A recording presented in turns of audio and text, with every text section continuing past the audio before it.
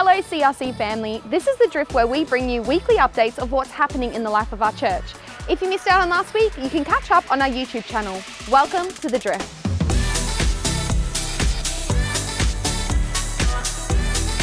This Sunday, we had an impactful word on the spirit of sonship and receiving God as a loving Father. This happens through acknowledging that Jesus understands and fulfills all our needs.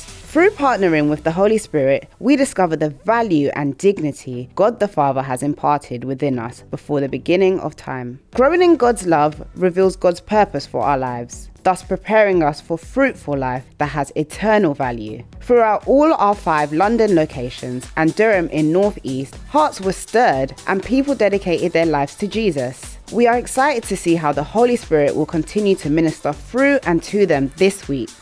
I will always be grateful and delighted the way you know, Christ is, has spoken to me from the day I entered into this church. I've met no incredible people and you know, people that love God, and that is how we Christians should actually behave. So it's a, it's a great you know, blessing for me.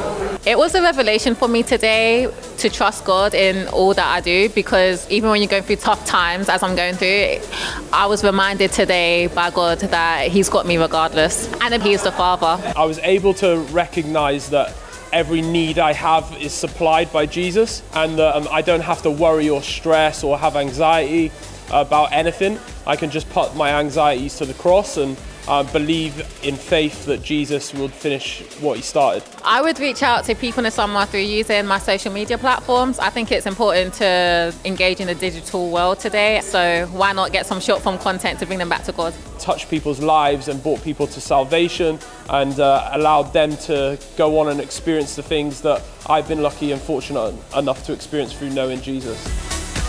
Thanks for watching The Drift.